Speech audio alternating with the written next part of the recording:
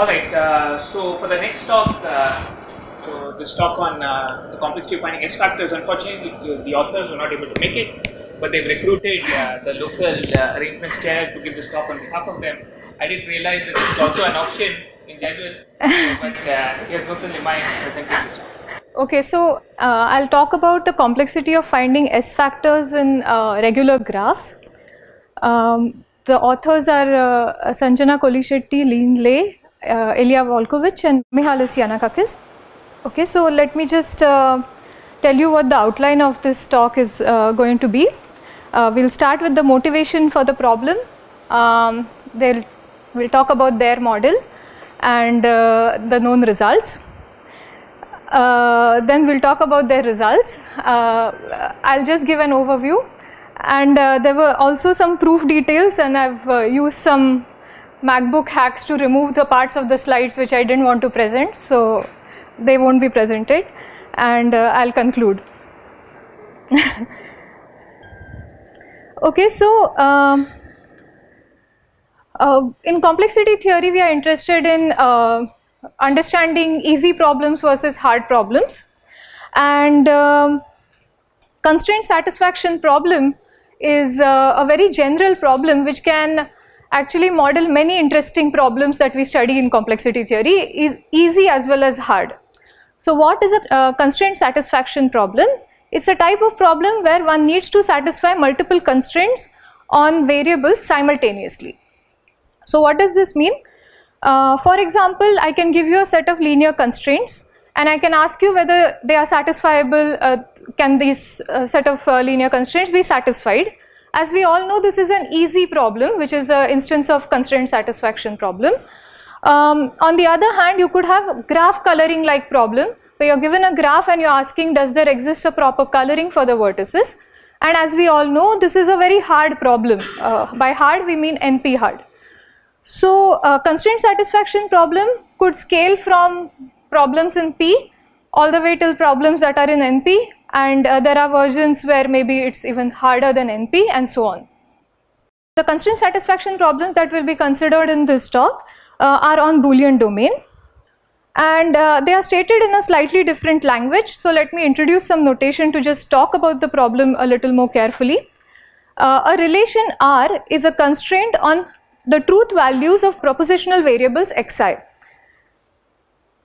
So any relation is a valid relation. You could say xi or yi or xi or negation yj.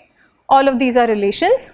Uh, let gamma be any fixed set of relations. So now I develop a vocabulary using these relations. So I allow myself a finite set of relations using which I can talk about instances generated from those.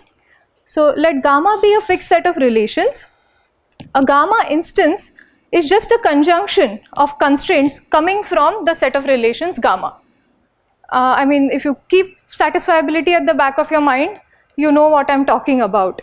Relations are just ORs of variables and you're taking ANDs of those.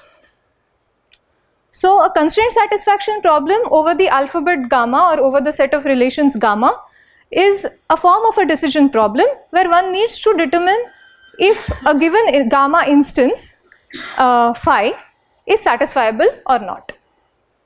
Okay, so it's uh, exactly what we understand just spoken in a slightly different language. And now uh, the name of the game is to uh, classify the complexity of uh, CSP of gamma. So let's go through some quick examples. 3SAT uh, is just a formula over uh, 3CNF, 3CNF formula and those which are satisfiable form this set.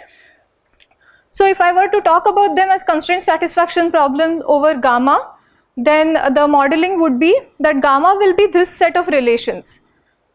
Uh, you take relations where all three variables are non-negated or one variable is negated or two variables are negated or all the three variables are negated and uh, um, now an instance 3 sat is uh, maybe a specific instance like this and and of these things. So um, there is a beautiful dichotomy known uh, from some classical work of Schaefer, which says that there are properties that these gammas must satisfy, and if they do, the constraint satisfaction problem for those gammas is trivial, that is in P, and in all other cases, it is NP hard. So, uh, what it says is that it gives six cases. In those six cases, if gamma satisfy those six prop any of one one of these six properties, then CSP gamma is in P.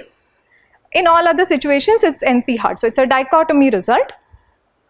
So, the six cases are very easy to state. Either when all things are set to 0, it evaluates to 1. When all the variables are set to 1, they it evaluates to 1. So, basically constant. RGs are uh, binary, the, each clause is just a binary clause.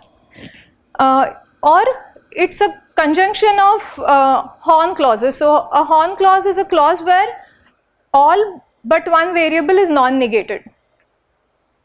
So, it basically uh, is All but one variable is negative. All but one variable is negated. Uh, x implies y or z or w or something like this. So when you write it as a, uh, is the other way around, right? You can say at most one, at most one positive literal At most one positive literal or an implication like this, which essentially means you negate all the variables or uh, implication. Am I correct? Yeah, okay, thanks. And uh, dual horn clauses are uh, just when exactly at most one variable is uh, negated. Or um, the formula, uh, the, the relation is a affine form which means that uh, you take xi parity, xj parity, xk equals c, some 0, 1, whatever. In all these cases, it is in P. Co- Constraint satisfaction problem of gamma is in P, and in all other cases, it's NP hard. So this is a classical result, and now uh, many works have uh, tried to generalize this result for some more notation. Uh, uh, the CSP gamma is called trivial if every instance in uh, CSP gamma is satisfiable. So Examples of CSP gamma in P are the trivial cases, uh, 2 sat, which is basically the third case that I mentioned. Uh, NP hard are 3 sat, not all equal 3 sat, uh, 1 in 3 sat, etc.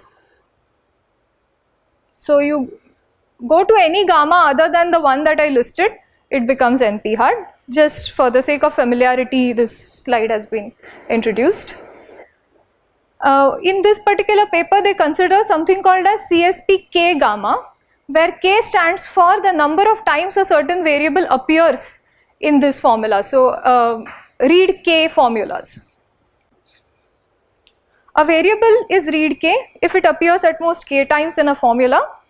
A read K formula is a gamma instance where all variables are read K. CSP gamma K is a specialization of CSP gamma to the case where the gamma instance is a read K formula. And uh, more specifically, this talk uh, will concern, uh, will be about CSP2 gamma. So it's not very difficult to see that read once formulas are uh, trivial because, uh, uh, I mean, are easy to solve because you just fix a variable to the appropriate value and move on. It never appears again. Read 3 or more uh, is equivalent to unbounded. Mm, I think the reduction is not that difficult, but I don't know it offhand. Uh, read twice is where apparently uh, the whole discussion uh, is for a while, and um, so this paper talks about read twice. So Schaefer's uh, theorem does not immediately generalize for read k uh, settings, and that again is not very difficult to see. Uh, we can see it quite easily, maybe. Uh, so again, uh, these are uh, using some older results. So uh, CSP2 1 in 3 sat. Okay, so 1 in 3 sat, I actually I should have spent a little more time on it on the previous slide. 1 in 3 sat means uh, 1 out of the 3 gets set to 1 in a, any clause. So are these literals or are these variables? uh, they are literals. So CSP2, 1 and 3 sat.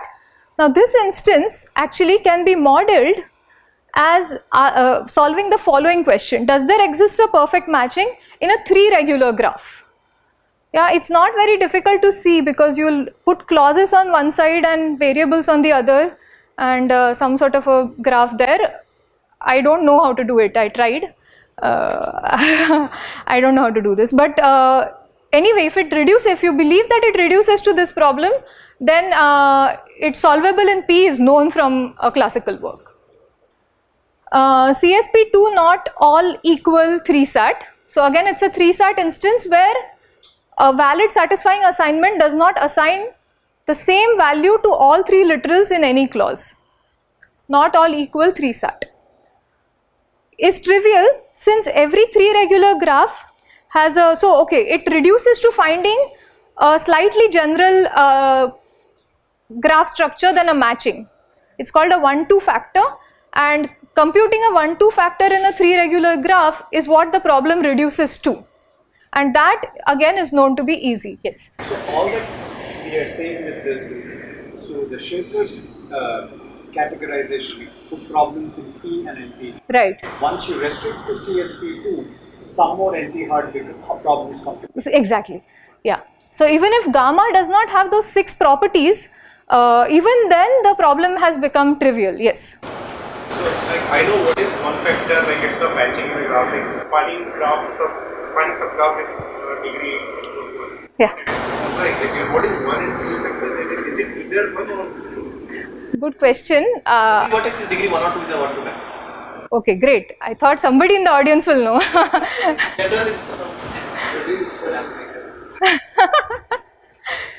okay. A focus taken by uh, an earlier paper of Istrate was to consider the set gamma that consists of symmetric relations. And uh, what is a symmetric relation? It just depends on the Hamming weight of uh, the input. So the relation evaluates to 1 as far as the Hamming weight falls into some class of numbers. So for example, majority relation is a symmetric relation because it just depends on the number of ones in it etc. So uh, not equal is a binary relation and the spectrum of that is just 1 that means either one of the variable is set to 1 and another to 0 or vice versa. Spectrum of a relation is the valid values that it can take where it evaluates to 1. So in the case of not equal for not equal to evaluate to 1, the bits better be set not equally, in which case the Hamming weight of the input has to be 1. Similarly, equal to k on a, as a k-ary relation, the spectrum is 0 or k, or either all bits are set to 0 or all bits are set to 1. Not all equal 3 sat is a ternary relation where uh, so uh, okay let me not do these examples. I think the uh, uh, definitions are clear on this slide. So uh, at this point we i could have really stated the entire result but i have to connect uh, this talk to the other part of the title which is s factors. So let me do that and then i'll be ready to state the results so every read twice formula can be converted into the one where it is exactly twice instance. So every variable not just appears at most twice but exactly twice. And when you do that, it can also be converted into a graph instance. And this graph instance is nothing uh, very uh, different from the one I already spoke about, where variables are on one side and clauses on the other. An S factor, so the definition that was being asked has uh, come up now. I can uh, define it more carefully here. So uh, we say a graph G has an S factor if there exists a spanning subgraph inside that graph where for every vertex V, the degree of V comes from this set. So a 1-2 factor, uh, now maybe the definition is slightly clear. The notation was different, it sh probably should have been curly braces 1-2 factor. Yeah. And uh, now here is the reduction from uh, CSP gamma k problem to the S factor problem. the two main characters of this story so far. Let R be any k-ary relation. The complexity of solving CSP2R is the same as the complexity of finding an S factor in a k-regular graph where S equals uh, the spectrum of R. So k-ary relation converts to um, k-ary graph. So maybe what I said about getting a graph instance, I may not be absolutely correct there. So the graph instance that they're talking about in the first lemma is not the one I mentioned. It's something else, but I don't know what it is, unfortunately. K relation might be explained as a relation from the vertex set to its k neighbors because everything has k. So I, I don't know, I don't want to say uh, more than this. But uh, let's believe this observation that the CSP problem reduces to finding an S factor problem in a specific graph. So if you are able to solve the problem uh, efficiently in certain cases, it will give you some information about how hard the CSP2 instance is in those cases. So that's the main uh, important theme for this. So just to be clear here, you're only looking at gammas which contain a single relation. Yes, yes, yes. So that will come up. Uh, A single single symmetric yes so the, if when i state the result uh, i will mention all the assumptions that have been made so far uh, and as uh, Shrikant was pointing out uh, the notation will change slightly and we'll not keep on putting these curly braces if it's understood that gamma only consists of one relation so actually we are uh, talking about quite a uh, restricted case but that itself is surprising given the known results in the area Okay, so now stating the results, this uh, one more slide before I can state the results. The high level goal is to classify CSP2 gamma as per the choice of gamma. So this would be the highest possible goal that we want to achieve. However, um, so ideally we would like the read twice dichotomy version of the Schaefer's theorem. So this would be a great uh, uh, achievement in this uh, line of work. However, we are still very far away from uh, any such classification and when we are stuck over the years uh, at a point, it's a good idea to look at some um restrictions I guess. So, uh, to narrow the scope, uh, gamma consists only of symmetric relations and as Meena was saying, um, just a single symmetric relation. Okay, so that is the setup we are in and here uh, also uh, the result is not a complete classification but uh, some sort of a conditional classification which I can now state. Okay, so I'll state the result in two slides. The first slide will talk about when the relation has even parity. So let R be any symmetric relation and uh, let it have even parity say 2L uh, CSP2R is in polynomial. So this is a complete characterization. In the even case, they uh, obtain a complete characterization when gamma is symmetric and a singleton. Either uh, there is some even number in the spectrum of the relation. In this case, it is easy or L which is the halfway point of the arity of uh, the relation that appears in the spectrum. In this case also they have a polynomial time algorithm. If not the midpoint but L minus 1 and L plus 1 are in the set, they uh, if it's a subset of the spectrum, uh, even in that case it's a they have a polynomial time algorithm. If it is a zebra where uh, zebra is basically take any interval AB and only pick out every alternate entry from there. So that's called a zebra and if uh, the spectrum itself is a zebra, uh, in that case also they have a polynomial time uh, running time. In all other cases it's NP hard. So for even arity they have a full characterization. As I said zebra is basically um, just uh, a set S is said to be a zebra if it consists of the interval AB while only alternate element is in the set. Okay, so I've uh, told you one part of the result. Is, is this uh, statement of the result clear? Yeah? because if you have symmetric relation, Yes. you have like two elements, two many inputs, right? Yeah. Satisfiable or not? Yeah. Oh no no the total number of variables in your formula could be very large, right?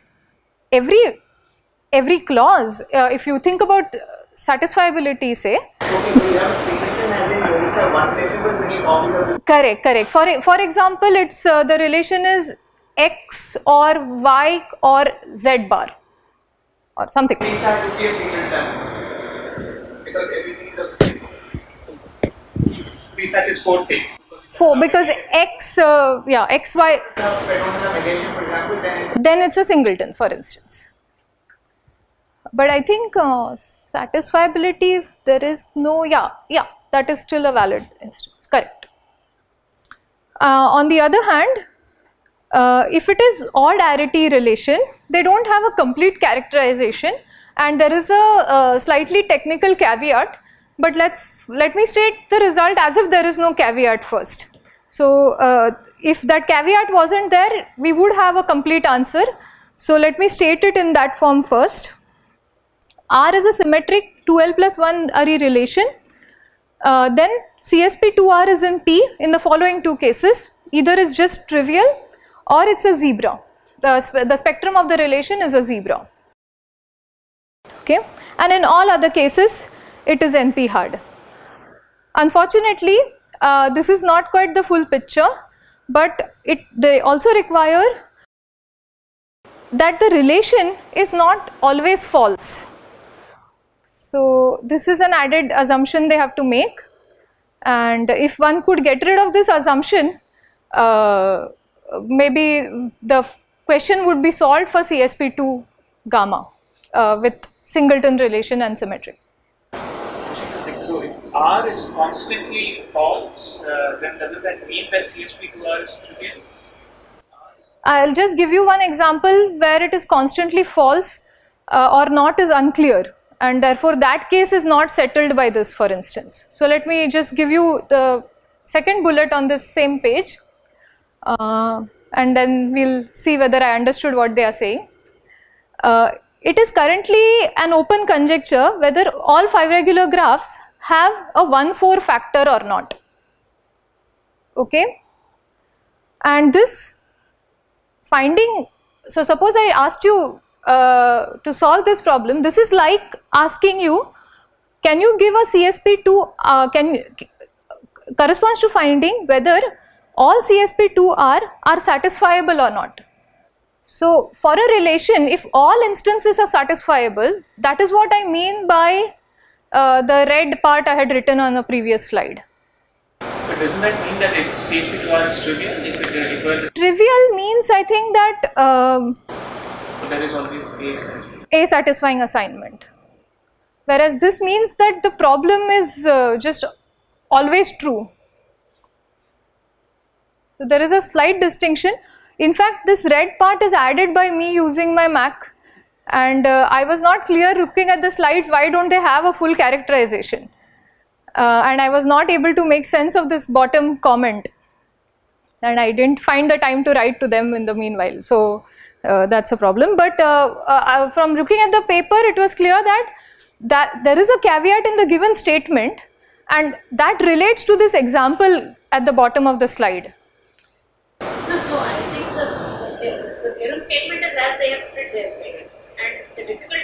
deciding whether are, Yeah, are Is trivial or not? correct, correct, correct. So that is what the second yeah so uh, the statement is this and then uh, uh, basically whether a certain instance is trivial or not is not always easy to see and if we can say that for all instances that okay uh, triviality is easy to check then uh, this will be a full characterization and uh, the statement triviality will not have to check.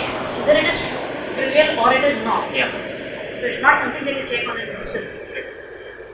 It's just that in the dichotomy, there is a dichotomy, but We don't know what it I is. don't know, the- this R, I don't know whether it goes on this side. or this side so looking at an r whether it is trivial or not is not easy to tell Mm, that is the same thing right uh, then what i said Because normally an instance, you are, you are not given R. R is fixed and you are given an instance and you are Okay, okay, yeah, correct, correct, correct, correct. You are absolutely right. Yeah, that's right. So the, this is where the status is now and uh, I have described the result. I think I'm just going to wrap up now. So uh, let me summarize. Uh, they have given a complete classification for CSP2 gamma when gamma consists of a single even arity relation. Unfortunately, it is not a classification uh, if uh, gamma has odd arity. Uh, it would be a classification as Meena was saying if one could tell if uh, the instance was uh, trivial or not. And uh, actually most of their paper actually talks only about not so much about CSP2 but about actually these S factors and finding them. All the proofs go via, uh, from what I could understand uh, very superficially, via solving problems about S factors. So the questions they ask are also kind of related to the S factors. Is it possible to identify for which set S an S factor is always guaranteed to exist? This will resolve the question that was raised on the previous slide. Is there a set gamma that does not um, so in one of the proofs they use this equal, equal 3 instance to push a certain case and therefore the second question comes from there. And of course the most neat question to ask at this point would be what if gamma is not a singleton but symmetric but consisting of multiple uh, relations. Can we say anything about it? So uh, yeah with that.